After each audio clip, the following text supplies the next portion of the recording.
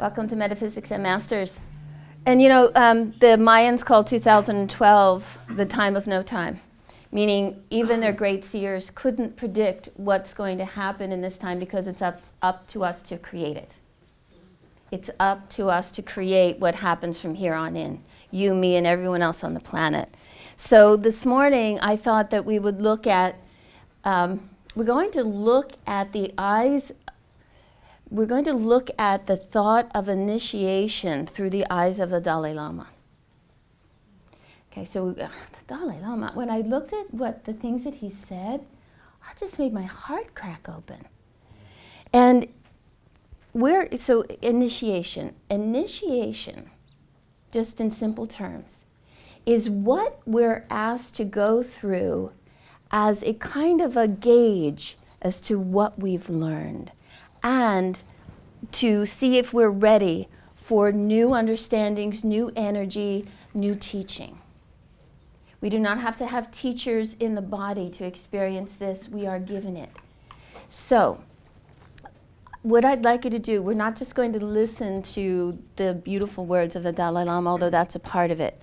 I would like each one of you for a moment, and I know we're all going through something, whether it's you know, feeling like we're under tremendous amount of pressure, or so much to do, or you've got the phone call that someone you love is not well, or you're not well, whatever it is, just pull it forward in your consciousness for a moment, okay?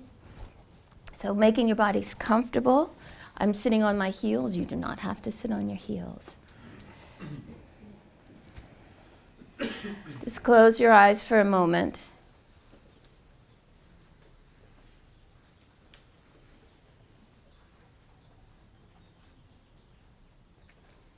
Watch your breath.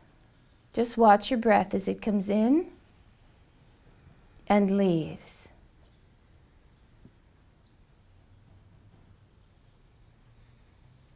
This is time of no time. In other words, if we make everything personal, that means this is this is the year where we do things differently than we've ever done them before. We do them differently than our partners might do them, than our parents did them, and so on.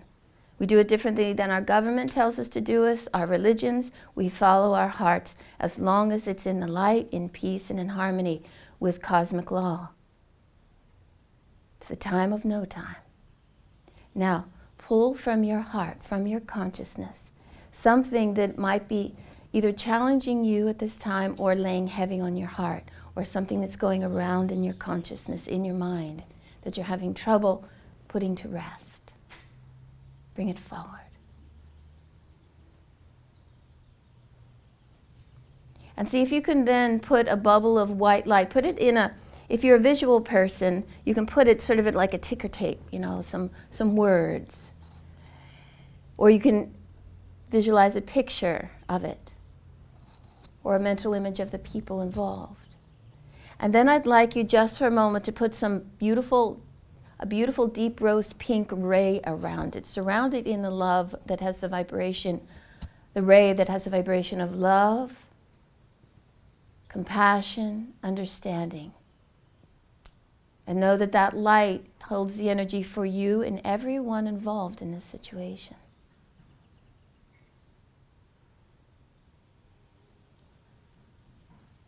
And in that light of love, what if this situation is an initiation for you.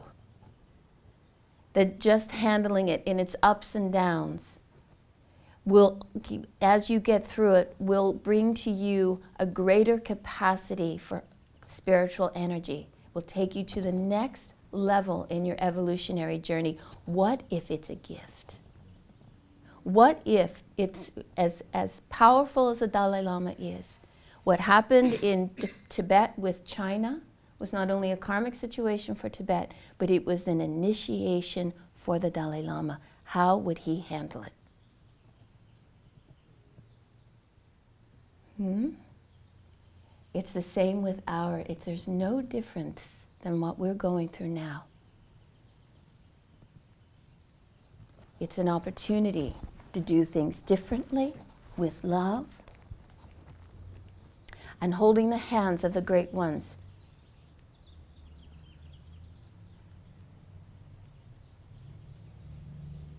They are always there guiding us.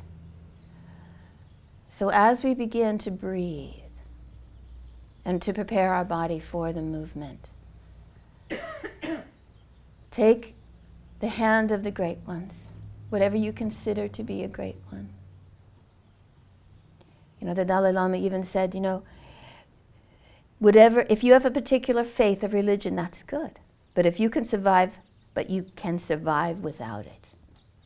And he's a Buddhist, you know, most famous Buddhist on the planet. You can survive without your religion because you are soul, you are spirit. It's between you and source. And receive that energy as if you're breathing in directly from source. Take it in. Breathe. Let it flow as deep into your belly as you can. And then hold onto it. Feel that light empower you, the energy coming through the breath. Feel it empower you. And then through your mouth, sigh out all imitation. We're out of the time that we're familiar with. We've got to get creative. Inhale, breathe in spirit. Let it go all the way deep to your toes. Hold it, embrace it. Breath is life. Oh, relax the tension and the stress and trying to do things the old way or figure it out. We let it go. Inhale, breathe in light. Take that light in called breath of spirit. Hold it in your lungs and then visualize it filtering into every cell, every atom. And then exhale. Ah. One more time. See how breath unites you to all that is. Breathe in. It in, unites you to the process that even the Dalai Lama is going through. Hold all the great souls. You, don't you know that the crucifixion was Jesus' great initiation into Lordship? Exhale. It's not meant to break, it's meant to make. Inhale, tense the legs, clench the fists, pull your belly in if you're not pregnant, squeeze all the way to the top of your head. Feel your body vibrating with cosmic energy. You are cosmic energy. Exhale, sigh it out. We've got a space up here. Again, inhale. Squeeze. Feel as though all the old energy, the solar flares are coming in. They're coming in through our electrical system. Exhale. And let's let them integrate. Again, inhale. Squeezing out the old if this is the time of no time, we're the bodies of nobodies. We're not going to, we're nobodies, we're spirits. Squeeze, squeeze, squeeze, exhale. And we happen to have a body, and what, a, what an honor it is to be here now. Inhale. Last one, really squeeze. Squeeze, let your navel come in, let your, even your scalp tense. Exhale and relax.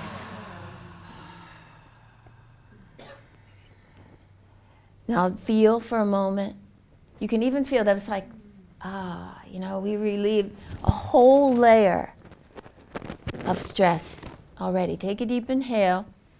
As we're aware that we're getting lighter and lighter, exhale, hands at the heart. Press your left hand into your right hand. Again, close your eyes. Now visualize that situation transmuted. See yourself moving through it with as much dignity as you can. You may fall down. You may say something you not you wish you hadn't said. Forgive yourself, get back up again, and see yourself keep moving. Because the only way you can fail is to stop moving toward the light. To get so frustrated, then discouraged with yourself that you stop making the effort. We're all spiritual Rockies. We got to get back up mm-hmm. and keep swinging. And see, see yourself moving forward. See yourself moving through the situation. Feel yourself with, in peace with it in love, in trust to the universe that has brought you closer, closer to spirit. And that situation still shining a beautiful deep rose pink. And thank the universe right now. Thank it for that situation in your life. Thank you for trusting, thank the Holy Ones for trusting you enough to give you this initiation. And you can even affirm this too shall pass, and I shall be in greater light, in greater empowerment through my spirit soul. And take a deep inhale. Hold that breath. Feel it moving your heart, opening it. And exhale, sigh it out, and release your hands. Ah. Ah, and since this is the time of no time and we're going to do things differently, this gives us an opportunity to recreate our world and the earth in general. We're going to recreate our yoga class a little bit to start differently. Why not? I invite you to lie back, lay back. If, if anybody's feeling um, a little squished, we have um, quite a few people in the room today, there's a spot up here, if you don't mind being up here. Lay back and, and so lay down. You know, when they found the Dalai Lama when he was two, they realized that he was this great incarnation of Buddha.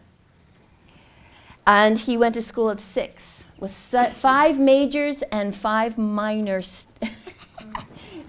subjects. Go ahead now.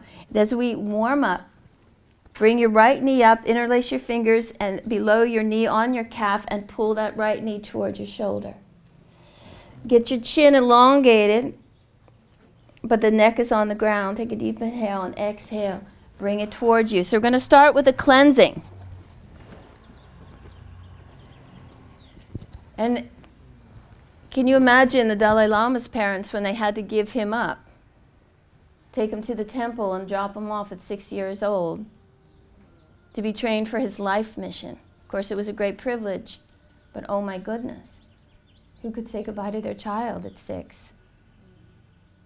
Talk about an initiation. On your keep exhaling the knee in as you release your hips and your low back with the, and cleanse your digestive system with this. Get your shoulder blades together behind you. Now reach that leg up and flex and point and flex and point it down. So that the heel is about three inches, two inches from the ground. And just bring it up and down a little bit to open up your belly work. Just you've got the foot flexed and just open it up and open up. And then relax it down, bring your left leg up, interlace your fingers, same place on the calf, and bring it toward you. Relax. You know, one of the major subjects that, that he was asked to study was metaphysics. So throughout his education, till he was 21, he was took five majors, five minors, and studied, of course, all the, he was great in English, languages, all that sort of thing. At 21, he got tested and he passed with a doctorate, the equivalent of a doctorate.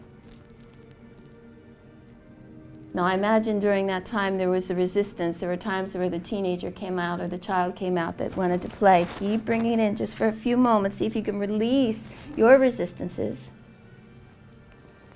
Then take the leg up, flex and point, and start bringing it down using your belly muscles. Flex and point. Then hold it about two inches from the floor. Extend through your heel to, to stretch your hip a little bit and just pump it up and down.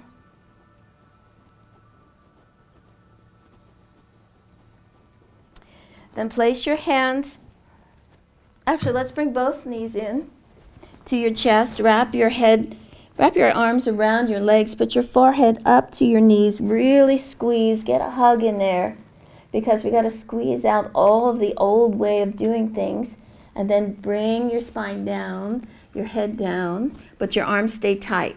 So you're going to pull your knees close to your chest and breathe. Let the intention here to be to release what you think you know, how you feel that this situation in your life needs to turn out. Be open Let's, let's, um, this is the time not to define anything. Just be in the moment, let it happen. Now take your legs straight, flex and point, and start bringing them down. Stop when they're about two, three inches, flex and point, flex and point down.